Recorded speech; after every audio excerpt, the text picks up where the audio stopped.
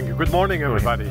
I'm not going to talk about FM in Germany because I think that is quite well known. So I decided to talk about a global trend that is influencing and impacting FM independent of where you are located or how developed the country is. And that namely is uh, digitization. If you talk about digitization, there may be different uh, views.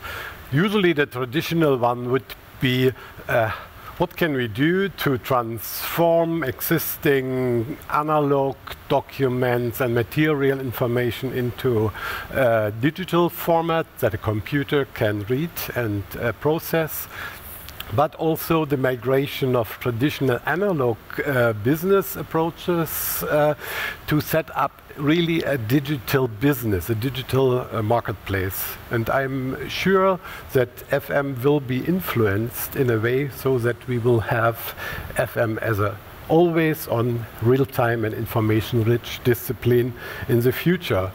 But if we talk about digitization, uh, digitization won't work without digital data. And that is usually effort and that costs also. So FMs should have uh, an idea on how to tackle this problem. We should be aware of what could be the possible uh, data sources like documents, real objects, processes, signals, uh, sounds, and so on. We should know what type of uh, interesting, also new uh, digitization methods are available, and finally, uh, what uh, is the result of that data formats that are able to be exchanged between a variety of different IT uh, systems. So that is a very uh, interesting uh, part.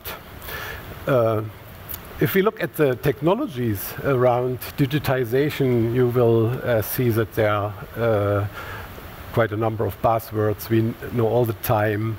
Building information, modeling, CAFM, IWMS systems, virtual reality, augmented reality is now really uh, coming up. IoT is a very big uh, issue together with the sensor networks involved with this providing us with a, a digital uh, big data, which we then analyze by using machine learning technology. That's really new and very interesting stuff. Even gamification had made its way into uh, FM.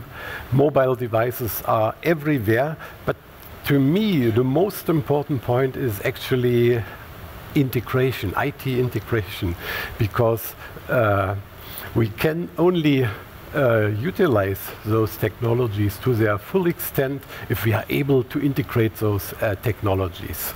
And if we are able to integrate, then we will always be able that there is a benefit uh, for our organization. So usually I say we don't ha only have to talk about technologies, we also have uh, to show how it works and to also to show that we are not talking about maybe the next five years.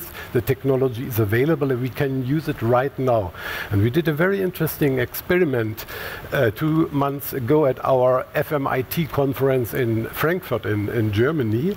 Uh, we were uh, clustering together a number of different uh, software uh, providers and companies, a number of different technologies, and we're integrating that into just just one uh, uh, continuous workflow. That means starting with a 3D uh, data capturing by 3D uh, laser scanning, convert this data into a BIM model, then a number of uh, different uh, IWMS or CAFM system were taking up this model, enriching it with additional information. We're adding technologies like mobile data capturing, like IoT uh, sensors using different technologies like Wi-Fi and LoRa technology, which is a rather new technology. Cloud computing, at the end of the day, uh, adding some augmented reality application.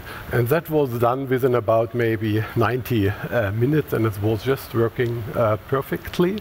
And it really uh, encouraged me to try additional of those uh, future labs.